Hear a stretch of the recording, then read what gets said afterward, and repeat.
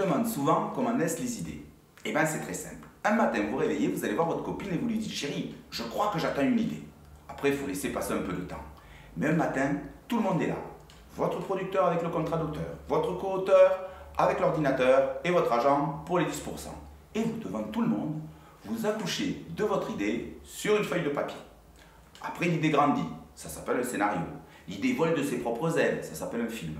Et quelquefois aussi, les idées meurent. Mais il ne faut pas être trop triste parce qu'une idée qui meurt, ben, c'était pas une bonne idée. Alors vous rentrez chez vous et vous attendez une nouvelle idée. Un jour aussi, vous pouvez croiser un copain scénariste dans la rue qui vous dit Tu sais pas, je viens d'avoir une idée. Il vous raconte son idée et c'est la même. Mais vous ne dites rien, vous la lui laissez, ils vont si bien ensemble. Voilà, voilà à mon avis comment naissent les idées. Un peu comme les bébés, c'est-à-dire un peu par amour et un peu par hasard.